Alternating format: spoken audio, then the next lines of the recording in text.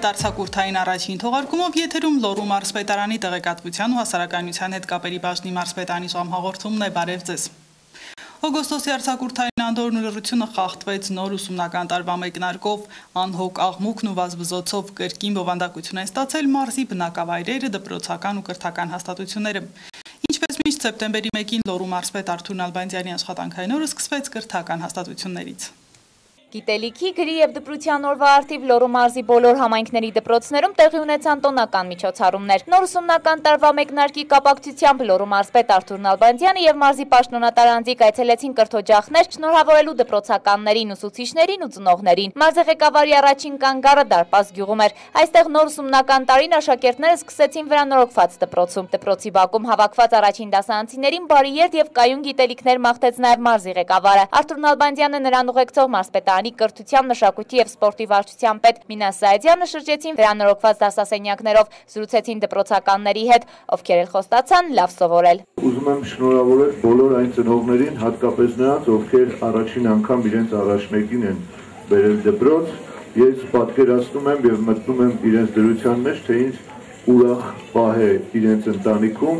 հետադիկները եւ պապիկները ինչքան են ողջավորված, որ իրենց երեխաները առաջին անգամ դպրոց են հաճախում եւ առիթից օգտվելով ուզում եմ նաեւ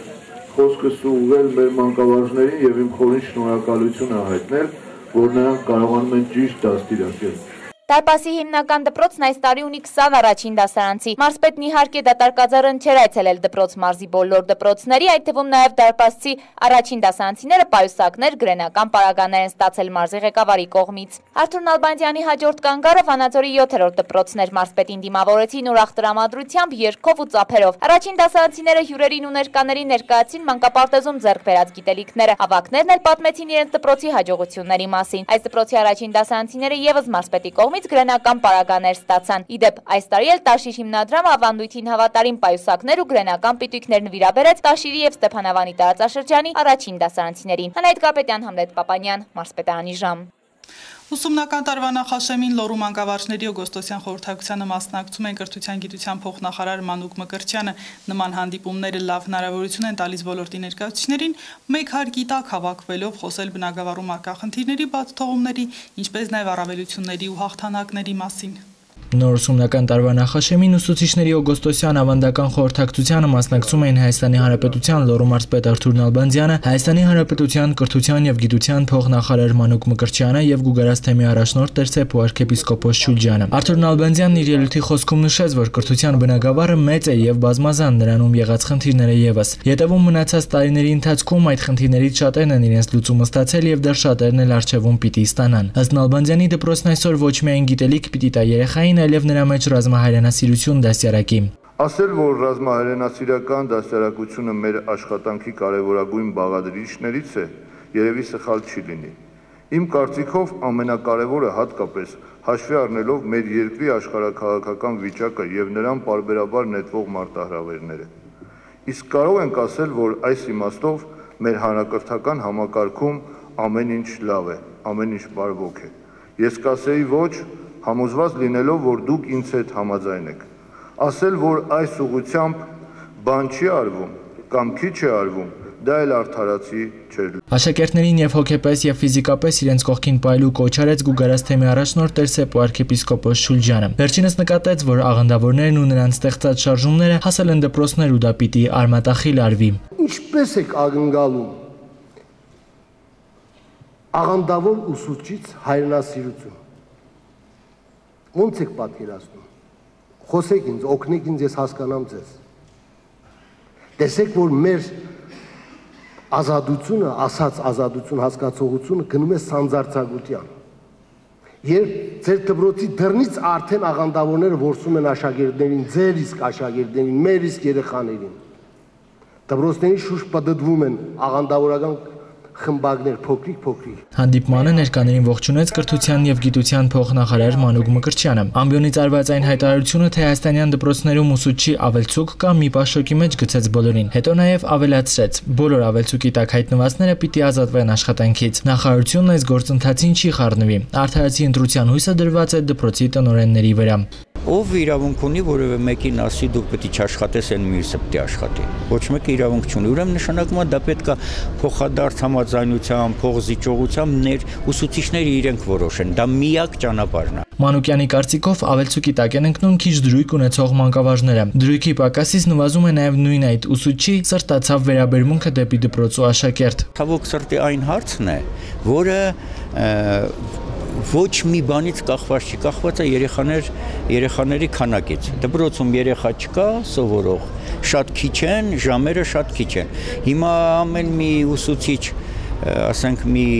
10 ժամով ոչինչ ինքը չի, ասենք, ստանում, բացի դա, գիտեք, շատ կարևոր մի հանգամանք կա, երբ որ ուսուցիչը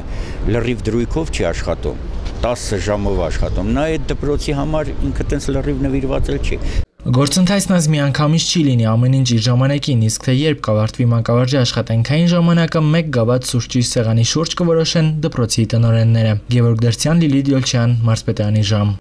Մարզի ողջ տարածքում ընթացել են նոր ուսումնական տարվա նախապատրաստական աշխատանքներ։ Փաստվել են դասագրքեր, մարզի կրթության ոլորտի պատասխանատուները մասնակցել են Երևանում անցկացված օգոստոսյան խորհրդակցությանը։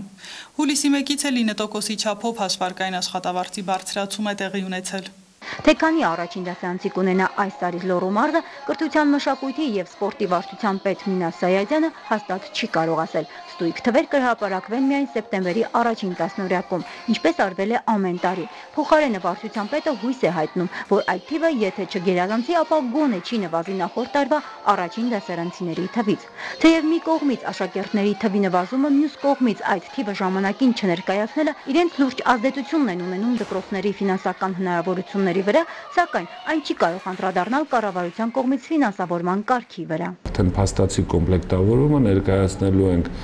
կրթության, գիտության նախարարություն եւ ֆինանսների նախարարություն համապատասխան ֆինանսավորումը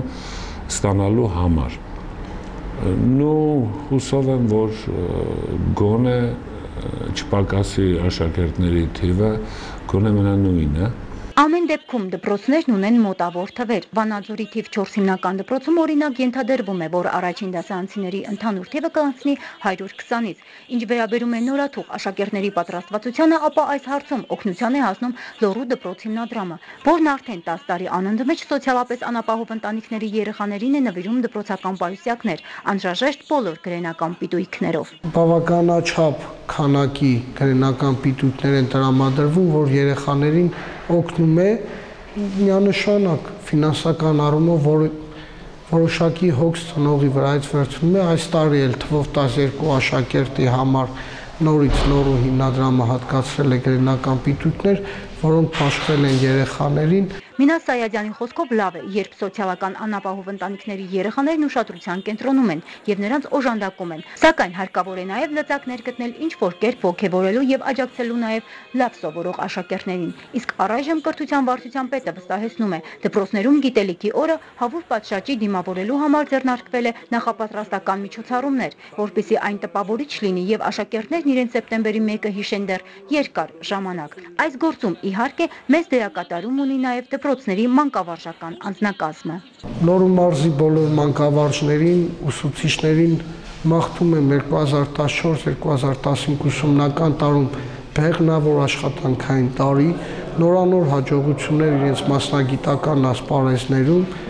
մեծ է մանկավարժի դերը այսօրվա մեր աշակերտների դաստիարակության կրթության գործում։ Գիտելիքի օրվա առիթով բոլորին շնորհավորելով Մինաս Սայադյանը հարկամարեց նաև իր շնորհակալությունը հայտնել Մարսպետարանի ժամ հաղորդաշարի անձնակազմին, քանի որ նրա որակմամբ մի կողմից լրագրողների մասնագիտական կարողությունները, մյուս կողմից էլ անաչառ ու օբյեկտիվ մոտեցումը աստիճանաբար մեծացրել են հաղորդաշարի լսարանը։ Այսօր նույնիսկ հենց մեր հաղորդման միջոցով են մարզի ղեկավարներն արդեն իմանում շատ խնդիրների մասին եւ ձեռնամուխ լինում դրանց շուտապույտ լուծմանը։ Անպայման ուզում եմ նշել, շեշտել, որ մարզպետարանի ժամ հաղորդումը այսօր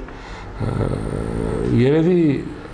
եւ մարզպետի, եւ իմ, եւ իմ մյուս գործընկերների կողմից ամենաշատ դիտվող հաղորդումներից մեկն է։ Շատ եմ կարևորում այն աշխատանքը, որ մարզպետարանի ժամ հաղորդա հաղորդման հաղորդումը կազմակերպող աշխատակիցները այդ թվում դուք այդ աշխատանքն եմ շատ կարևորում եւ գտնում եմ, որ սա այն հաղորդումն է, արդեն չեմ ուզում ասել հաղորդումներից մեկը, որ լավագույնս է ներկայացնում մեր մարզում իրականացվող բոլոր տեսակի աշխատանքների, ինչու՞ չէ, մենք հեռու ենք այն մտքից, որ միայն լավը պետք է ներկայացվել, ներկայացվի, ինչու՞ չէ, նաև այն բոլոր խնդիրները, այն բոլոր բացթողումները, որոնք այսօր արկա են այս կամ այն բնակավարում, այդ թվում հանրակրթական դպրոցներում Դե ուրեմն շնորհավորելով բոլոր դպրոցականներին եւ մանկավարժներին գիտելիքի օրվա կապակցությամբ շնորհավորում եմ նաեւ Մարսպետանի ժամ հաղորդաշարի անձնակազմին Արցակուրտից հետո նոր եթերաշրջան մտնելու առիթով Արմեն Մկրտումյան Լիլիթ Յոլչյան Մարսպետանի ժամ Ստեփանավան քաղաքում գործում են 6 դպրոցներ, որոնցից 3-ը հիմնական դպրոցներ են։ Քաղաքի համար 6 դպրոց ապահովված է հարմարավետ ու գեղեցիկ շենքային պայմաններով։ Այստեղ էլ սակայն երեխաներից վիավելացման հետ նոր մասնաշենքի կառուցման անհրաժեշտություն կա։ Ուսումնական տարվա մեկնարկը տրված է, իսկ Ստեփանավան քաղաքում առաջին դասարան ընդունված երեխաների թիվը գերազանցում է նախորդ տարվա ցուցանիշը։ Ուրախությամբ նշում է Ստեփանավանի քաղաքապետարանի աշխատակազմի կրթության բաժնի պետը։ Ստեփանավան քաղաքի դպրոցները ընդունվել են թվով 175 երեխա, որից 125 երեխան գնացել են նոհերից։ Նոր ուսումնական տարում համարվեց դպրոցում ընդունել են 58 աշակերտ, ձևավորվել է երկու առաջին դասարան, սակայն շատ դիմումներ չեն ընդունել, քանի որ այդ դեպքում երրորդ դասարան բացելու անհրաժեշտություն էր առաջանալու, իսկ դպրոցը, որը հիմնանորոգված է ապահովված անհրաժեշտ բոլոր պայմաններով, ունի նոր մասնաշենքի կառուցման խնդիր։ Դասարանների պակասի պատճառով դասերն անցկացվում են երկերթով։ Հիմնադրման տարվա ընթացքում մենք յուրաքանչյուր դասարանից մեկ դասարան ենք ունեցել եւ խտությունը այնքան քիչ է եղել, դասարանը եղել նույնիսկ 5 աշակերտ է եղել։ Իսկ այսօր դուք տեսաք, որ դասարանի խտությունը այնքան շատ է, 33 աշակերտ, 31 աշակերտ, դա բավականին մեծ թիվ է ուսուցչի համարել դժվարություն է առաջանում աշակերտի բոլորի հետ աշխատանքը ճիշտ կազմակերպելու համար։ Դպրոցում երեխաների թվի տարեց տարի ավելացումը պայմանավորված է ոչ միայն ծնելիության աճով, այլև շենքային պայմաններով։ Շատ ծնողներ են ցանկանում, որ իրենց երեխաները կրթություն ստանան լավ պայմաններում։ Տարիներ առաջ կառուցված ու հիմնանորոգված դպրոցը այսօր էլ նոր տեսք ունի։ Սանհանգույցները, բակը, խոհանոցը ու դպրոցի յուրաքանչյուր անկյունը մաքուր է ու մասնակի վերանորոգվում է յուրաքանչյուր ուսումնական տարվա մեկնարկից առաջ։ Դպրոցում իրականացվում է նաև ծրագիր, որը սննդով է ապահովում տարական օղակի աշակերտներին, իսկ բազմազավակ ընտանիքների աշակերտների ծնողներին նաև աշխատանքով։ Բազմանդամ ընտանիքներից ուրեմն ծնողներին են ընդգրկել աշխատանք սնունդ այդ ծրագրին, որպեսի կարողանան եւ իրենց երեխաները այստեղ մեր դպրոցում հաճախեն եւ կարողանան սննդի հարցը լուծեն։ Տարական բոլոր դասարանները օգտվում են սնունդից։ Ունենք նաեւ ներառական կրթության կրթություն ուսուցանող երեխաներ յուրաքանչյուր դասարանում տարբեր թվով է իհարկե դա լինում, մասնակցում են նաեւ սնունդը առանձին սնունդ էլ նրանք են օգտվում ներառված երեխաները։ Նոր ուսումնական տարին դպրոցի աշակերտներն ու ուսուցչական կազմը դիմավորել են բարձր տրամադրությամբ ու մեծ ակնկալիքներով։ Լավ տրամադրություն ունենք, լավ ենք դիմավորել մեր տարվա սկիզբը։ Հուսով ենք, որ մեր աշակերտներն է մեր աշխատանքը կարդարացնեն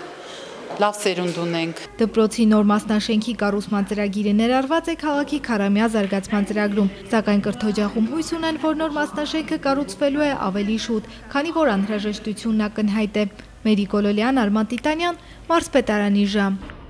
Շարունակում թողարկումը եւ հաղորդման այս հատվածում մեր անդրադարձն է հաղորդաշարի արձակուրդի ընթացքում եղած մեր տեսակետից կարևորագույն իրադարձություններին։ Հայաստանի վարչապետն աշխատանքային այցով Թեղուտի պղինց մոլիբդենային հանքավայրում էր Հովիկ Աբ รา համյանը ցանոթացավ ընթացիկ ու առաջիկա ներդրումային ծրագրերին։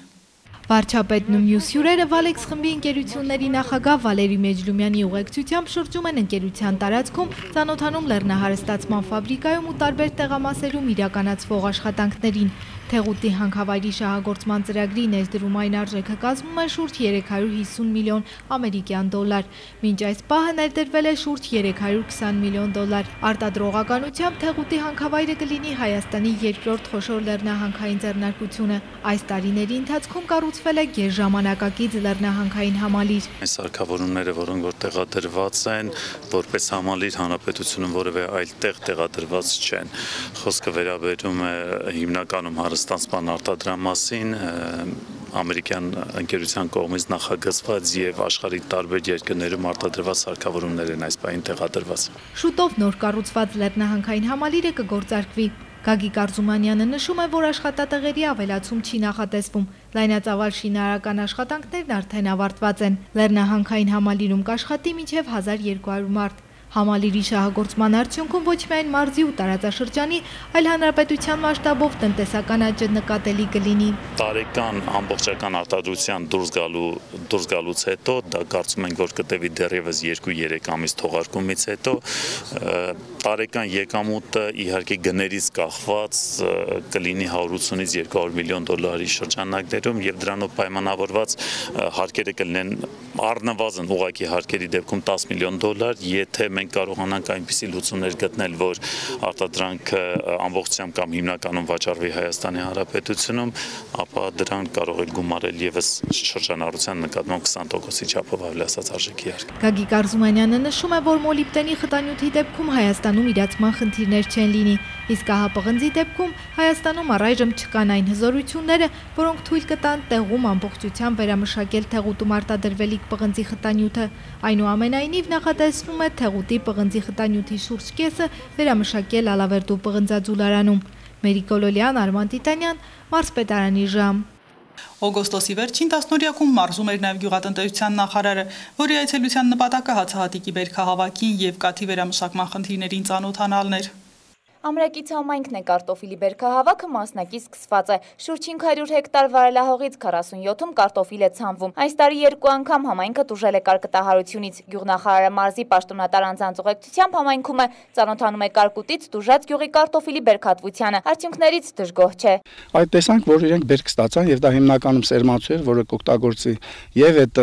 տնտեսվարողների համար, իրենց համար եւ հնարավորություն են նաեւ վաճառելու այլ պահանջողների եւ բարձրորակել սերմեր, այնպես որ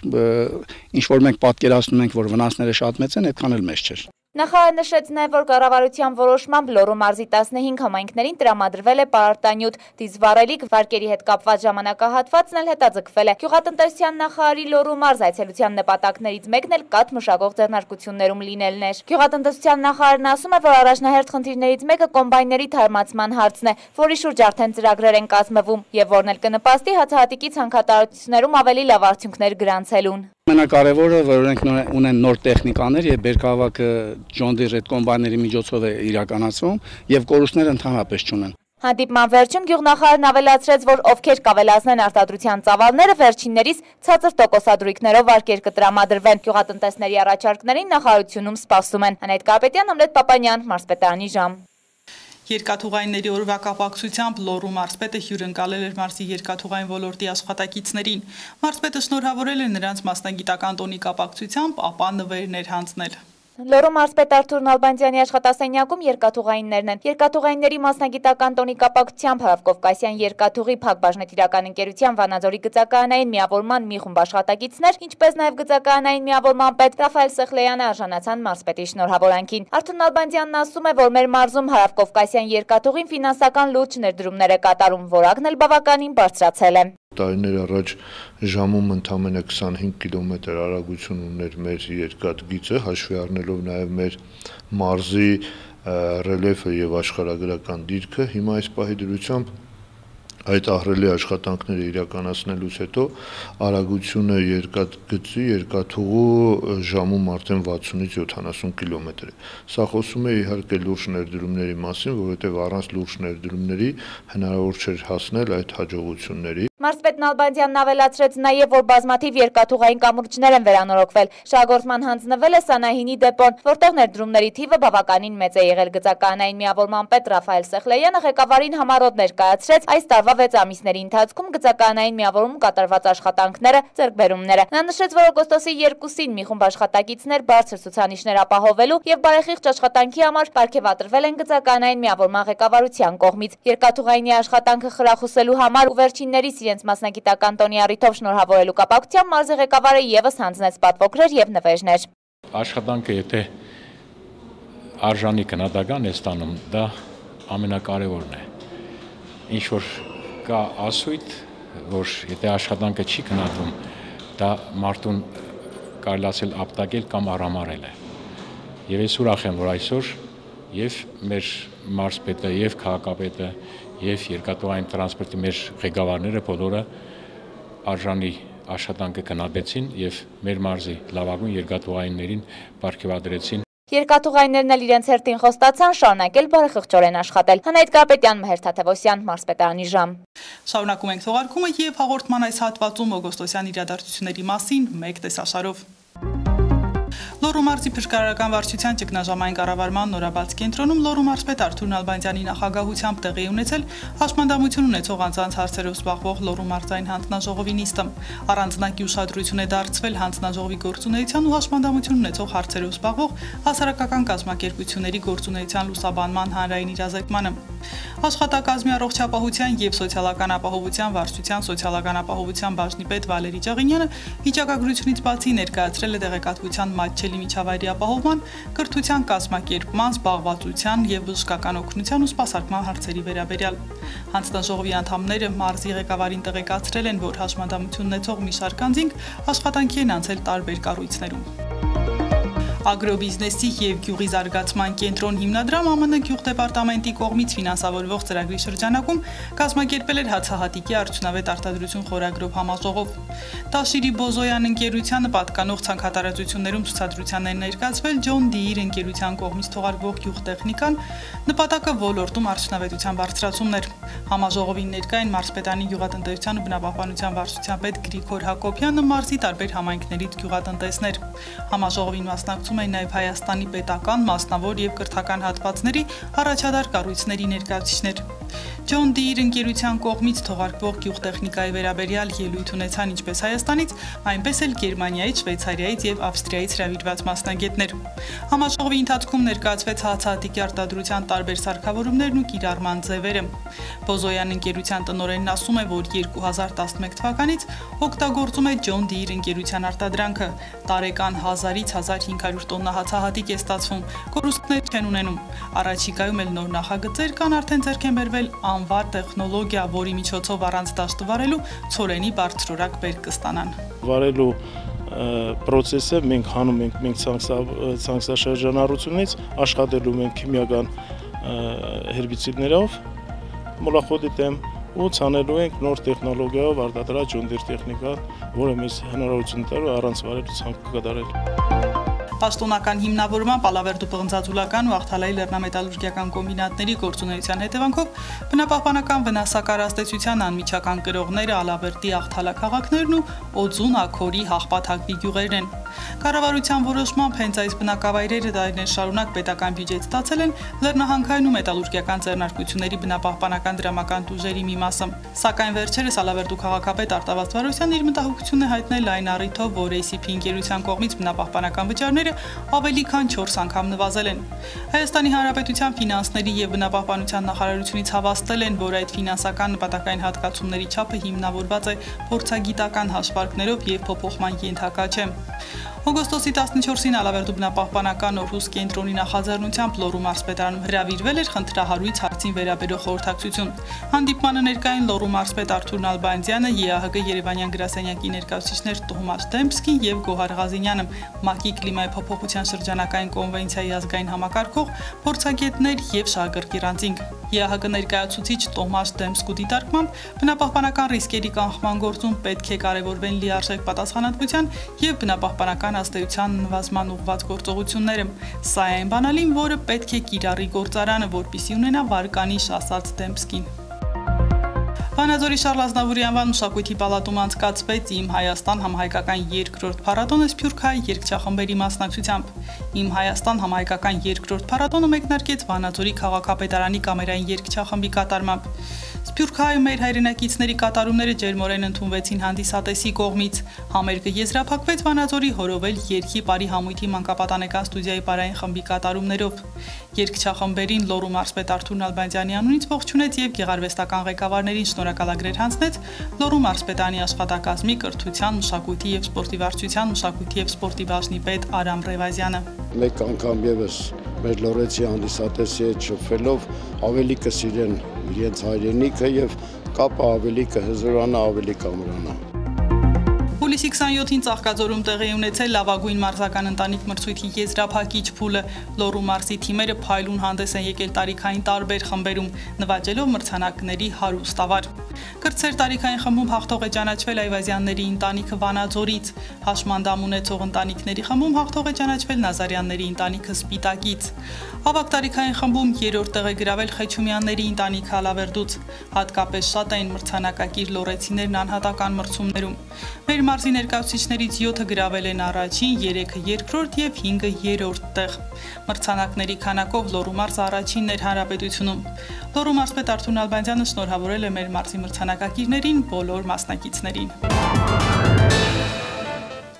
Լիարժեք կյանք հասարակական կազմակերպության ամառային ներառական ճամբար 2014-ն այս տարի գործեց 4 հերթափոխով, յուրաքանչյուրը 7 օր տեղողությամբ։ Ճամբարականները Հայաստանի տարբեր քաղաքներից էին շուրջ 200 երեխաներ, որոնցից 100-ից ավելին հաշմանդամություն ունեցող մնացյալը սոցիալապես անապահով ընտանիքներից։ Ճամբար 2014-ը հնարավոր է դարձել Հայաստանի Հանրապետությունում ԱՄՆ-ի եւ Լիտվայի դեսպանատների Ջինիսյան հիշատակի հիմնադրամի Բալեքս խմբի Հայաստանում գերմանական Կարմիր խաչի եւ ՎՏԲ Հայաստան բանկի աջակցության շնորհիվ։ 5 տարի է լիարժեք կյանք բարեգործական հասարակական կազմակերպությունը Լոռու մարզի Ստեփանավան քաղաքում կազմակերպում է ամառային ներառական ճամբար 10-ից 16 տարեկան հաշմանդամություն ունեցող եւ ճանաչող երեխաների համար։ Այս տարին առանձնացավ նրանով, որ Հայաստանում Ամերիկայի Միացյալ Նահանգների դեսպանատան եւ Ջինիշյան հիշատակի հիմնադրամի ֆինանսավորմամբ հերթափոխերից մեկը ներառական քաղաքացիական ճամբարն էր 16-ից 18 տարեկան երիտասարդների համար, ովքեր սովորեցին զանազան հմտություններ եւ հաստատեցրեցին իրենց գիտելիքները ուսանողները մարդու իրավունքների առաջնորդության, առողջ ապրելակերպի եւ շրջակա միջավայրի պահպանության ոլորտներում։ Նրանց հետ աշխատեցին Ամերիկայի Միացյալ Նահանգների խաղաղության կորպուսի կամավորները։ Տոնական միջոցառումը երեխաներին ապարգևեց ՎՏԲ Հայաստան բանկը, որի անձնակազմի անդամները բանկի գլխավոր տնօրեն, տնօրինության նախագահ Լիարժեք կյանք հասարակական կազմակերպության խորհրդի անդամ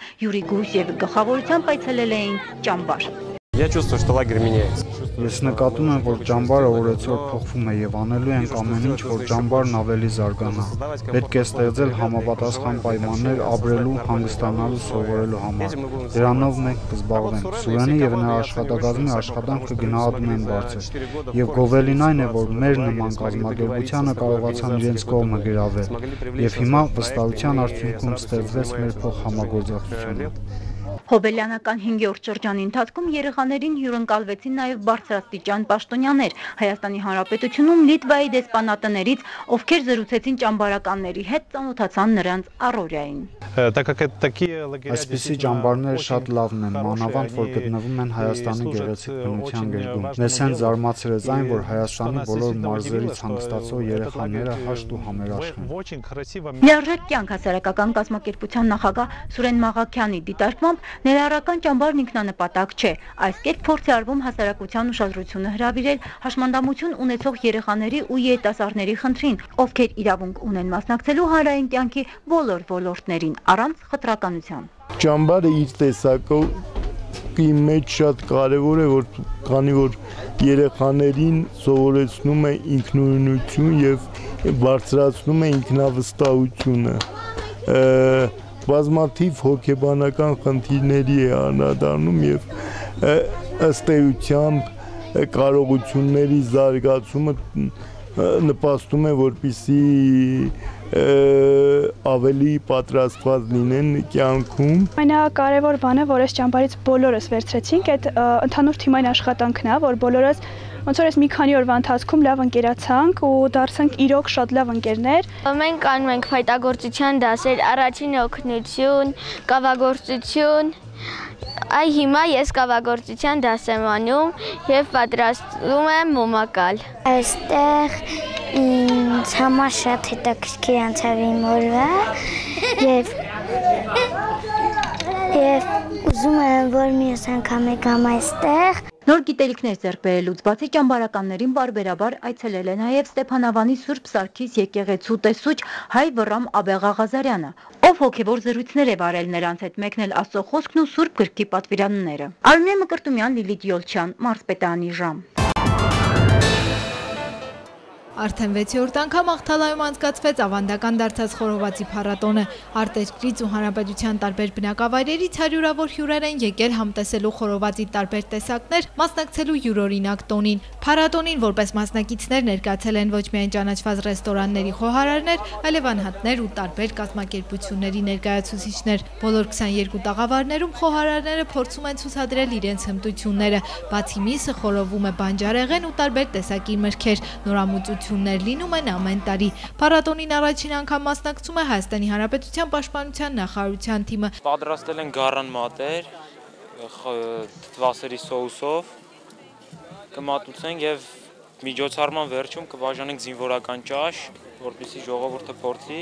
Երևանի աֆրիկյանների պանդոկի շեֆ խոհարար Գրիշա Անտինյանը խորովածի փառատոնից գրեթե յուրաքանչյուր տարի վերադարձել է մրցանակներով, բոլոր անվանակարգերում հաղթել է։ Հույս ունի այս տարի նվաճել գլխավոր մրցանակը մանավանդ, որ այս տարվա մրցութային խորովածը յուրահատուկ է։ Ներկայացել ենք այս տարի մրցութային խորովածը դա արքայական թագ անվանումով դա գարի մսից պատրաստված թագ էր որը իր հատուկ սոուսով եւ հաճարի փլավի, փլավի հետ միասին։ Հայ խոհարարական ավանդույթների զարգացման եւ պահպանման հասարակական կազմակերպության նախագահ Սեդրակ Մամուլյանի խոսքով խորովածի փառատոն ավանդական դարձած ու սիրված միջոցառումն արդեն տեղայնացվում է եւ ամեն տարի ավելի շատ տաղավարներ են ներկայացնում հենց լոռեցիներն ու աղթալեցիները։ Վերջի վերջով այս միջոցառման շահառուն մեր Լորվա մարզի Աղթալայի տարածաշրջանի բնակչությունն է։ Ես շատ կուզենայի, որ ընդհանրապես բոլոր տաղավարները իրանք դնեին։ Եվ այդ օրվանը սպասեի, այդ օրվան սպասեին հենց այստեղ որ շահույթ ունենան։ Վերջին տարիներին մարզում ավելացել են գաստրոնոմիական փառատոնները, ու դրանք ոչ միայն հայկական խոհանոց օտարերկրացիներին ներկայացնելու, այլ նաև զբոսաշրջությունը զարգացնելու միտում ունեն։ Մեր մարզի համար, մեր համար ամենակարևոր տնտեսության զարգացման ճյուղերից մեկը դա հենց туриզմի զարգացումն է, որի համար մենք վերջին տարիներին լուրջ աշխատանքներ ենք իրականացնում եւ իհարկե նմանատիպ միջոցառումների շնորհիվ նաև մենք համոզված ենք, որ այն մարդիկ, ովքեր ներկա են գտնվում, ել ավելի մոտիկից կծանոթանան իրենց երկրին, ել ավելի մոտիկից կծանոթանան իրենց երկրի պատմությանը։ Խորովածի փառատոնն ուղեկցվում է ժողովրդական երկու բարով, հնչեց նաև ռոք երաժշտություն The Beautified Project խմբի կատարմամբ։ Աղթալայում էր նաև Պաշտպանության նախարարության փողային նվագախումբը։ Աղթալայի քաղաքապետը նշում է, որ տարեց տարի ավելանում է ինչպես փառատոնի մասնակիցների, այնպես էլ հյուրերի թիվը։ Տոնի գաղափարը կամ խորովածի փառատոնի գաղափարը մի քանի նպատակ է հետապնդում Նախ տնտեսական զարգացումը տարածաշրջանում ոչ միայն Ախտալայում, այլ առհասարակ մեր մարզում, հայ ավանդական խոհարարության զարգացումը եւ իհարկե սրա հիմքում դրված է նաև տոնի գաղափարը։ Խորովածի այս տարվա փառատոնի արդյունքներն ամփոփված են, իսկ գլխավոր մրցանակին արժանանում է Պաշտպանության նախարարության տաղավարը։ Զինվորները եւս մեկ մրցանակ ստացան Հայաստանի երիտասարդ կանանց ասոցիացիայի կողմից, իսկ ընդհանրապես ժյուրիի կողմից մեկ տասնյակից ավելի մրցանակներ հանձնվեցին մասնակիցներին տարբեր անվանակարգերում։ Իսկ շնող համայնքում սեպտեմբերի 7-ին կայացավ Մեղրի փառատոն։ Այստեղ էլ հանրապետության տարբեր բնակավայրերից ու մայրաքաղաքի ժամանած հյուրերը հնարավորություն ունեցան համտեսելու ու գնելու շնող եւ թեղուտ գյուղերում արտադրված մեղրը։ Բարձրերակա ու համեղա իմացանք այս ակցիայի մասին, որ եկանք արդեն համատեղում որ փորձում ենք զգացվում է էլի որ բարձրերակ մեղրը դրա համար արդեն գնում ենք։ Բացի մեղրը այստեղ վաճառվում էր նաև մրգեր, պտուղներ, ընտեղեն ու նույնիսկ ընտանի կենթանիներ։ Նպատակը միտված է նրան, որպիսի հասարակությանը ժողովրդին ցույց տան, որ թեղուտի հանքավայրի շահագործումից զատ, որպես աշխատատեղ կարելի է նաև գյուղատեսական մթերքների արտադրությամբ էլ ալտերնատիվ աշխատատեղեր ստեղծեն եւ դրանով կարողանան իրանց առօրյա հոգսերը հոգան։ Միջոցառման անցկացման նախաձեռնությունը Թեղուտի պաշտպանության քաղաքացիական նախաձեռնությունն է։ Այս տարի մենք ոչ միայն մեղրի փառատոն ենք կազմակերպել, այլ նաև կազմակերպել ենք դրան նախորդ օրը արշավականների խումբ ենք վերել այստեղ, ովքեր հենց տեղում գյուղում մարդկանց տներում գիշերակաց են ունեցել դրա դիմաց վճարովի հիմունքներով, sense ոնց որ այստեղ մտցնելով այդ bed and breakfast կոչված է, հա, անկողին եւ նախաճաշ այդ մշակույթը, որը որ կա Հայաստանի տարբեր քաղաքներում, հատկապես այնտեղ, որտեղ որ туриզմի զարգացման ինչ որ հերանեկարներ կան։ Շնող գյուղում այս տարի 4 տոննա մեղր է ստացվել, որի մի մասը վաճառվեց մեղրի փառատոնի ընթացքում։ Մերի Կոլոլյան, Արմեն Հովսեփյան, Մարզպետարանի ժամ։ Այսքանը Մարսպետանի ժամ հաղորդաշարի 114-րդ թողարկմանը մենք վերադարձել ենք Արցախուրդից եւ նույն ռեժիմով կշարունակենք ներկայացնել մարզի կարևորագույն անցուդարձերը։ Ցտեսություն եւ ամենայն բարիք ձեզ։